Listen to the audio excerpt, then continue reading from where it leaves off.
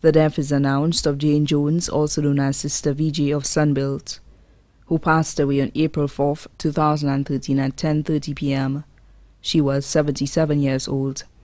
The funeral service of the late Jane Jones, also known as Sister VJ, will be held at the Bethel Tabernacle Church in Sanssouci on Friday, 19th April 2013 at 3 p.m., and the body will be interred at the Choc Cemetery. The body now lies at the Rampali's funeral parlor, Calvary Road, Castries. The family thanks all well wishers but would like to mourn in private after the funeral service.